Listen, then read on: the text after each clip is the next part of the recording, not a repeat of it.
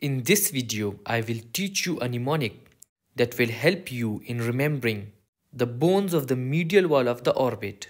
In the medial wall of the orbit, four bone has contribution. The frontal process of the maxilla bone, the lacrimal bone, ethmoid bone, and the body of the sphenoid. Now the mnemonic that will help you to memorize it is my little eye sits in the orbit.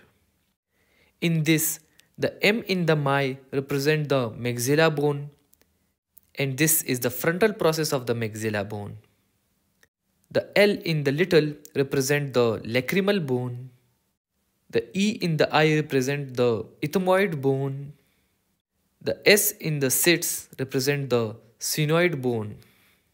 In the orbit will help you in remembering that this mnemonic deals with the bones of the medial wall of the orbit. Thank you. Subscribe to the channel for more interesting videos like this.